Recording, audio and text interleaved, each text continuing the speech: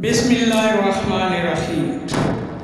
پنجاب رنگ نظارے YouTube channel کے ناظرین، السلام علیکم ورحمۃ اللہ وبرکاتہ۔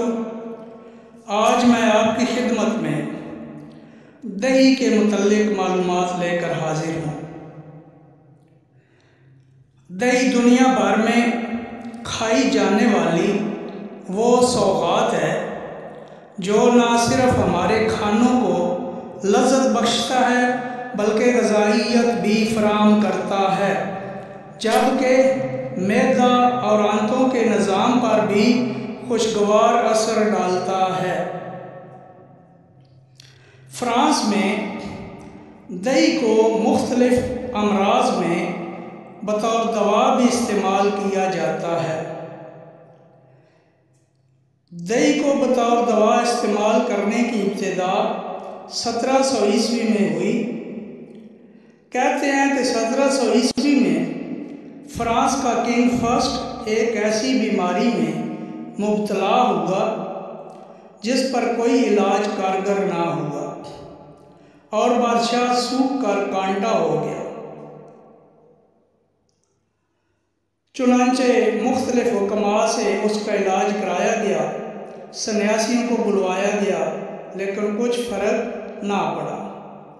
پھر ایک یونانی طب کے ماہر حکیم نے علاج کی حامی بھر لی۔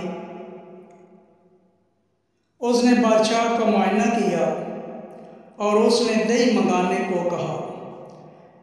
اور جب دہی آ گئی تو وہ کنگ فسٹ کو کھلائی دے اور اس نے طریقے کے مطابق بتایا کہ اس طریقے سے دہی کھلاتے رہو۔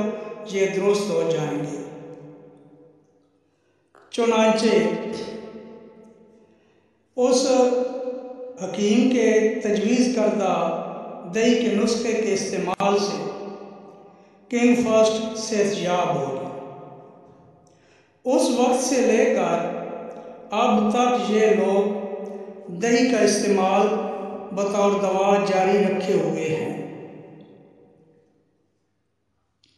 دہی بیکٹیریا کے انفیکشن کو بھی روکتا ہے میدے اور آنتوں کے امراض میں مفید ہے۔ اور بیکٹیریا کے انفیکشن جو ہے، دہی کھانے والے کو ہوتا ہی نہیں۔ اسی لیے اکثر ایلوپیتھک ڈاکٹر ہومیا ڈاکٹر اور حکمہ حضرات جو بھی اینٹی بائیوٹک خصوصیت کی ادویات استعمال کراتے ہیں، ان کے ساتھ دہی کھانے کا مشورہ بھی دیتے ہیں۔ امید ہے آج کی یہ معلومات پسند